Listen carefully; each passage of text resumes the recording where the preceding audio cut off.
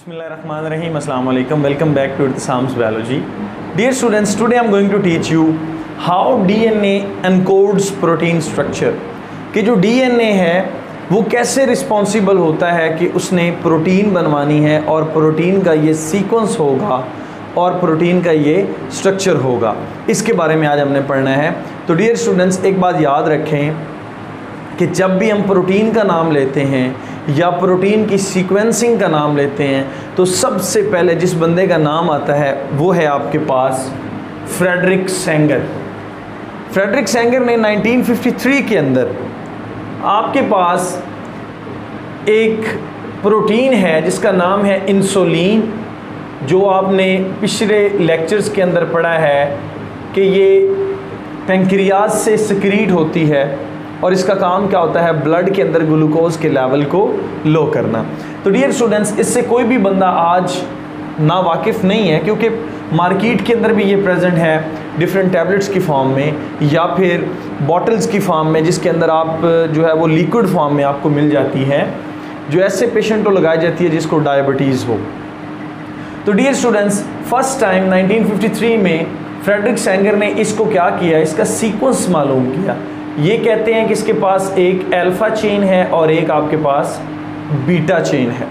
और इसमें जो total number of amino acid हैं, वो आते हैं 51 तो बेसिकली जो फ्रेडरिक सेंगर का काम था, वो इन 51 अमाइनो एसिड को सीक्वेंस में लिखना था, मालूम करना था कि ये अमाइनो एसिड किस तरह से जुड़े हुए हैं और इनका सीक्वेंस क्या है इस प्रोटीन के अंदर? ताकि फ्यूचर में ये काम दे सके, इसको आप कह सकते हैं कि सिंथेसाइज करवाने में हेल्प मिले। जैसा कि आज हम बैक्टीरिया से जो है इसको सिंथेसाइज करवा रहे हैं, इसकी सिंथेसिस के लिए बेसिकली ताकि ह्यूमैनिटी के लिए ये जो है काम करें। उसके साथ साथ इन्होंने क्या किया? हीमोग्लोबिन के ऊपर भी काम किया। जैसा कि आपने फ़र्स्ट ईयर के अंदर पढ़ा है हीमोग्लोबिन की अगर बात की जाए तो इसमें दो अल्फ़ा चेंज होती हैं दो बीटा चेंज होती हैं। एंड इसके अमाइनो एसिड जो होते हैं वो टोटल आपके पास 574 after that dear students Werner Ingram ने 1956 के अंदर जो काम किया वो भी बहुत इंपॉर्टेंट था। इसने क्या काम किया? इसने बेसिकली सिकल सेल एनीमिया की वजूहत क्या हैं? सिकल सेल एनीमिया क्यों होता है? उसकी जो बेसिक आप कह सकते हैं प्रॉब्लम्स थी पीछे उनको डिटेक्ट किया और वो वही कैन से मालिकुलर बेसिस पे मालिकुलर लेवल पर जाके डीएनए के लेवल पर जाके protein and as well as messenger RNA तक पहुंचकर उसने सिकल सेल एनीमिया डिज़ीज़ के बारे में स्टडी किया। सबसे पहले हम सिकल सेल एनीमिया के बारे में देखते हैं। सिकल सेल का मतलब होता है लाइक like सेल ऐसे बन गया है जैसे पहली रात का जो चाँद होता है डियर स्टूडेंट्स वो एंड उसके साथ साथ आपके पास द्रांति की जो एग्ज़ाम्पल है, और वही कैन से ऐसे नोकीला, दोनों साइडों से नोकीला और सेंटर से थोड़ा सा मोटा इस तरह से शेप हो जाती है आर बी सीज़ की, और एनीमिया का मतलब है आपको ब्लड डेफिशिएंसी क्योंकि जब आपके सेल जो हैं, उनकी शेप ऐसे हो जाएगी they unable to carry oxygen इनके पास ऑक्सीजन कैरिंग कैपेसिटी जो होती है, वो क्या हो जाती है? ज़ीरो हो जाती है। तब ये ऑक्सीजन को कैरी नहीं कर सकते। और ब्लड का हमारे जिसम में मेन काम ही ये होता है कि उन्होंने क्या करना है? ऑक्सीजन को कैरी करना होता है ताकि ऑक्सीजनेशन ऑफ़ टिश्यूज़ हो सके। सेल्स के अंदर जो माइटोकॉन्ड्रिया पड़े हुए हैं, वहाँ तक ऑक्सीजन पहुँच सके, जिससे क्या हो? अल्टीमेटली रेस्पायरेशन का प्रोसेस हो और हमें एटीपी मिले dear students oxidation of food हो। तो जब ये सिकल सेल इसके अंदर क्या होगा? ये काम सेल करेगा ही नहीं तो उससे क्या हो जाती है? बंदे की अल्टीमेटली डेथ हो जाती है। तो अब वर्नर इंग्रम जो था, इसने क्या किया? इसने हीमोग्लोबिन के ऊपर ही काम किया, क्योंकि जो आर होते हैं आर के अंदर मेनली आपको पता है कौन सी चीज़ प्रेजेंट होती है? That is H B haemoglobin ये ग्लोबुलर प्रोटीन है। इसमें इसने क्या किया? इसने स्टडी किया कि जो इसकी दो अल्फ़ा चेन्स हैं और दो इसकी बीटा चेन है, जैसे कि आपको फ्रेडरिक सेंगर ने बोला था, इसकी इन दोनों में से जो एक बीटा चेन है, उसमें एक स्पेसिफिक जगह पर, सिर्फ़ एक जगह पर क्या है? अमाइनो एसिड चेंज है। जो आपके पास अमाइनो एसिड है, वो क्या है? चेंज है। जब उसने पहले वाली बीटा के साथ उसको कंपेयर किया या नॉर्मल बंदे की बीटा चेन के साथ कंपेयर किया, उसने कहा, बाकी सारी तो ठीक है, सिर्फ़ एक अमाइनो एसिड के अंदर डिफरेंस आया है। और वो अमाइनो एसिड के अंदर डिफरेंस क्या है डियर स्टूडेंट्स ये देखें, ये नॉर्मल बीटा चेन का थोड़ा सा सीक्वेंस मैंने लिखा हुआ है। इसके अंदर valine histidine leucine threonine proline glutamic acid and as well as glutamic acid ये नॉर्मल बंदे की जो है बीटा चेन उसका सीक्वेंस है। अब जिस बंदे को सिकल सेल एनीमिया था, जब उसने इसकी बीटा चेन को देखा तो उसमें था valine histidine leucine threonine proline and valine परेशानी आ गई कि इस बंदे में सिर्फ़ एक अमाइनो एसिड के चेंज होने की वजह से क्या हो रहा है? प्रोटीन नॉन फंक्शनल हो गई है। तो एक बात याद रखें डियर स्टूडेंट्स ये जो सीक्वेंस ऑफ़ अमाइनो एसिड होता है ये क्या करता है? डिटरमाइन करता है शेप ऑफ़ प्रोटीन ये प्रोटीन की शेप को डिटरमाइन करता है। अब जब तक ये बात लाजमी याद रख लें, जब तक एक प्रोटीन अपनी प्रॉपर कन्फर्मेशन के अंदर या प्रॉपर शेप के अंदर नहीं आती, तब तक डियर स्टूडेंट्स वो प्रोटीन फंक्शनल नहीं हो सकती। ये बात लिख लें किसी जगह पर।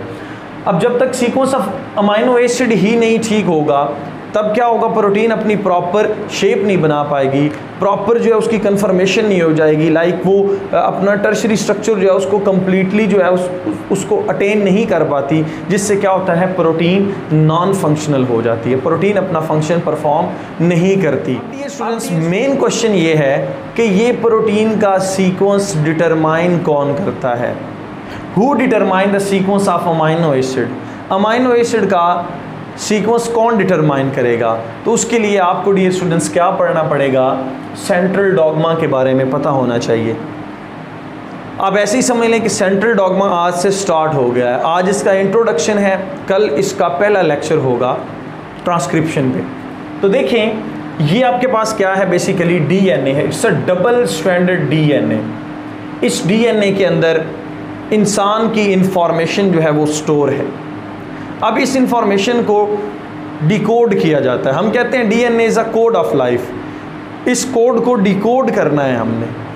अब इसको डिकोड करने के लिए हमें कोई ना कोई ऐसा, आप कह सकते हैं, बंदा चाहिए या ऐसा, ऐसी चीज़ चाहिए जो इसको क्या कर सके डिकोड कर सके।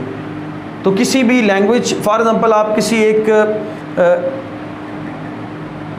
डच बंदे के साथ हैं। आपको डच जो लैंग्वेज है वो नहीं आती जर्मन की जो लैंग्वेज है तो आपको एक तर्जमान की ज़रूरत होगी। जो उसकी आवाज़ को सुनेगा, उसको डिकोड करके उर्दू में आपको बताएगा। तो सेम यही बात है। ये डीएनए जो है बेसिकली आपके पास क्या है? कोड है।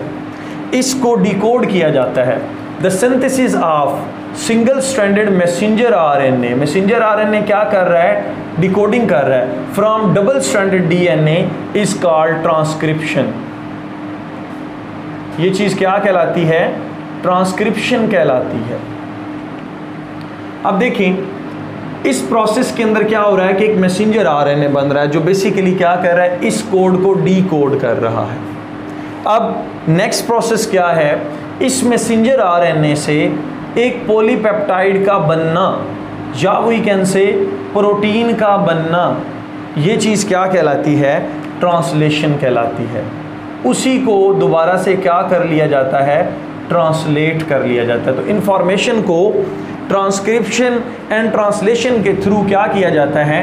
प्रोटीन बनवाई जाती है। And this process is called central dogma and as well as gene expression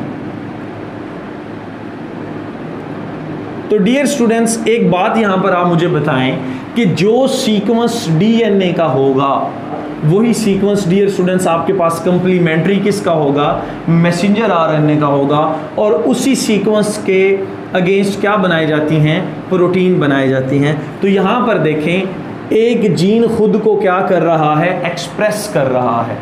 तो जीन का प्रोटीन बनाना ये क्या कहलाता है? एक्सप्रेशन ऑफ़ जीन कहलाता है।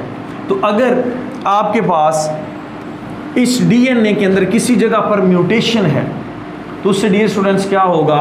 यानी कि इसका जो स्ट्रक्चर है, उसमें जो न्यूक्लियोटाइड्स हैं, जिसके बारे में मैंने आपको बताया था, जो बेसिस हैं basically A T G C in bases के अंदर किसी जगह पर चेंजेस आ गई हैं।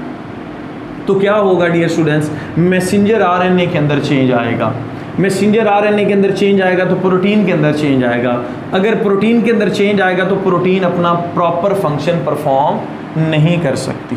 तो अब हम दूसरे लफ्ज़ों में जीन की डेफिनेशन करते हैं। जीन आपके पास क्या है? It is a sequence of nucleotides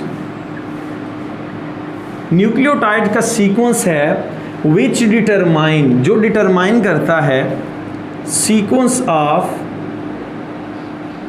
amino acid in ah protein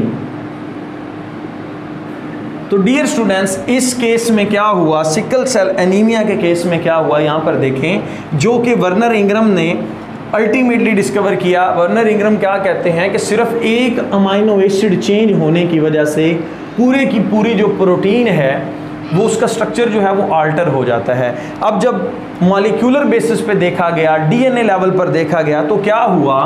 ये दो सीक्वेंस आपको नज़र आ रहे हैं। इनके अंदर सिर्फ़ एडिनिन और थायामीन आपस में क्या कर गई थी? रिप्लेस कर गई थी। जब इन्होंने रिप्लेस किया तो जहाँ पर पहले वाला कोड जो था, वो ग्लूटामिक एसिड के लिए कर रहा था। अब वो किसके लिए करेगा? वेलिन के लिए। अब डियर स्टूडेंट्स होता क्या है इस केस में? कि ग्लूटामिक एसिड की जगह पर वेलिन आ जाती है। जिससे क्या हुआ? बेसिकली क्या हुआ कि जो डीएनए के अंदर सीक्वेंस था, वो चेंज हुआ। सीक्वेंस चेंज हुआ तो मैसेंजर आरएनए के अंदर सीक्वेंस चेंज हुआ।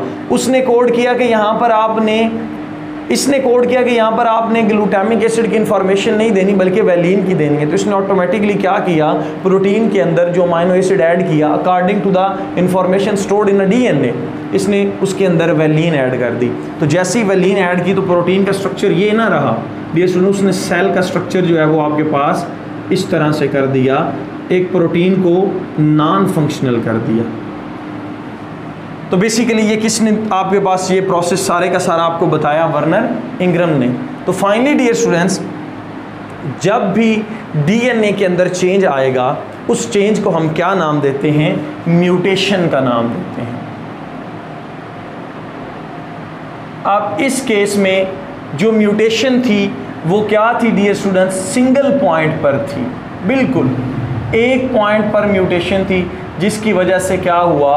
आपके पास इतनी बड़ी डिज़ीज़ जो है वो सामने आई। और ये जो प्रोसेस है सेंट्रल डॉगमा इसके अंदर डी स्टूडेंट्स जो हमारा नेक्स्ट टॉपिक है, उससे थोड़ा सा मैं आपको इंट्रोडक्शन देता चलूँ। इसकी जो प्रोटीन सिंथेसिस होती है, इसके लिए मुख्तलिफ़ तरह के आरएनएस काम कर रहे होते हैं। और उन आर में जो आपके पास है बेसिकली वो कौन सा है? मैसेंजर आरएनए तो हमने पढ़ ही लिया है। बेसिकली काम ही इसका होता है, क्योंकि इसने डिकोड करना होता है। उसके साथ साथ डी स्टूडेंट्स आपके पास ट्रांसफ़र आर एन ए हैं। और उसके साथ साथ राइबोसोमल आर एन ए है आर आर एन ए हम बोलते हैं इसको। जो ट्रांसफ़र आर एन ए है, ये हमारी बॉडी के अंदर तकरीबन 45 टाइप्स के जो हैं वो प्रेजेंट हैं।